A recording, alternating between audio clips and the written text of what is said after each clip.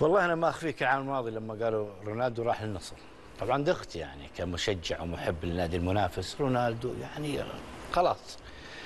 لكن مع الوقت مع الرسائل اللي جتنا من المسؤول الكبير اللي اللي خطط لماذا جلبنا رونالدو للكرة السعودية للرياضة السعودية. بدأنا نشوف في الواقع لماذا أحضر رونالدو. مو للنصر فقط للرياضة السعودية. رونالدو من باب الوفاء في السنة هذه بالذات تحديدا رد الجميل بالحضور بالشغف بنقل رسائل جميلة زي ما تفضل الزميل.